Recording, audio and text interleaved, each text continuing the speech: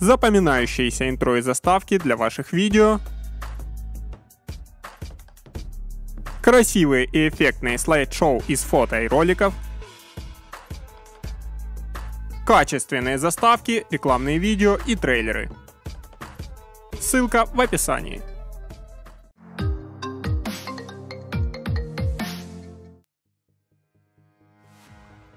Всем привет, с вами Артем. Как вы наверняка знаете, вчера Apple презентовала iOS 8.4.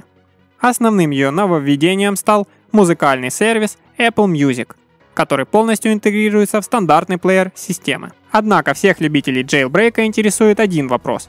Подвержена ли взлому iOS 8.4? Буквально через несколько часов после выхода iOS 8.4 разработчики из группировки 25pp обновили свою утилиту, которая позволяет делать jailbreak этой версии операционной системы. Не отстали от них разработчики из команды TaiG и также обновили свою программу для jailbreak. Теперь нам не придется выбирать, хотим ли мы оставить свое устройство jailbreak, либо обновиться до iOS 8.4 и получить Apple Music.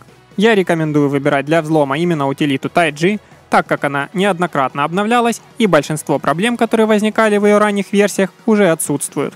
Итак, чтобы сделать jailbreak, необходимо обновить iOS на своем устройстве до версии 8.4, скачать утилиту TideG с официального сайта, ссылку на который я размещу под видео, и, собственно, запустить ее. В диалоговом окне необходимо галочкой отметить, хотим ли мы устанавливать магазин взломанных приложений 3K или нет. Я бы рекомендовал устанавливать его. В дальнейшем можно будет удалить данное приложение через Cydia. Также предварительно на устройстве необходимо отключить пароль разблокировки, Touch ID а также выключить функцию «Найти мой iPhone» в разделе iCloud.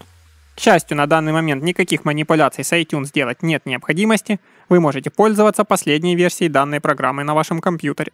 Когда все готово, нажимаем заветную кнопку и ждем пока круговая диаграмма добежит до 100%. В отличие от первых версий, осуществлявших взлом iOS 8.3, данная версия утилиты гораздо быстрее делает jailbreak – Устройство несколько раз перезагружается в процессе, после чего мы видим иконку Cydia на рабочем столе.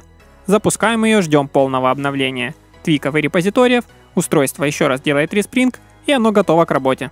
Если же у вас возникают какие-то проблемы и трудности, можете воспользоваться альтернативной программой для jailbreak AS 8.4 под названием 25pp. Ссылку я также размещу под видео.